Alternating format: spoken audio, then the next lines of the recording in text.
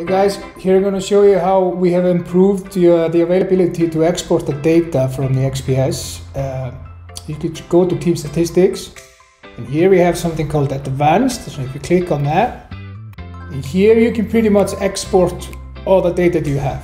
So let me explain this a little bit. Up here you will select the groups for the group activities and that's just selecting different drills or all drills. Then you just check a group to do that. Down here we have the individual uh, actions and here you can select your groups. Uh, you can select all groups of course and you can also check athletes and you can use these two buttons to remove all or add all.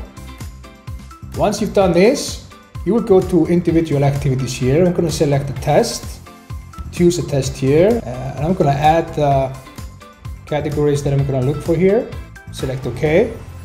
But this is a test with only one attribute, so I want to show you a little bit how it looks like if you have more than one attribute, for example. So I click here again, and I'm going to choose exercise, and I'm going to select bench press, select OK. And then I'll get the attribute that in that exercise. Uh, I'm not I'm not going to use intensity or rest, so I'll just take that away here. Then I go down here, and here going to select the period I'm looking for, so I can select a month, uh, uh a month, a year, or whatever you want to do here. Once I've done that, I just click on execute query. And now I have in everything I need in here. I have some information from form testing workouts. Now I can just click this button here and select copy to clipboard. And then if I go to my Excel, I have all the information in here.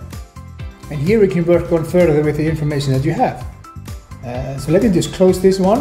Uh, but what you can do next is you can click this button again here and you can select save results as and this is a readiness export for example.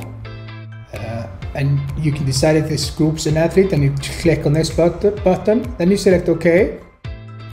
And if I close this one here all I have to do now let's say I want to make a new query here I can just click on this double click it and then I'll get everything in here that I had before. I only have to change the time frame here and then I click on execute query, query again and then I'll get everything up like before. So I encourage you to try this out.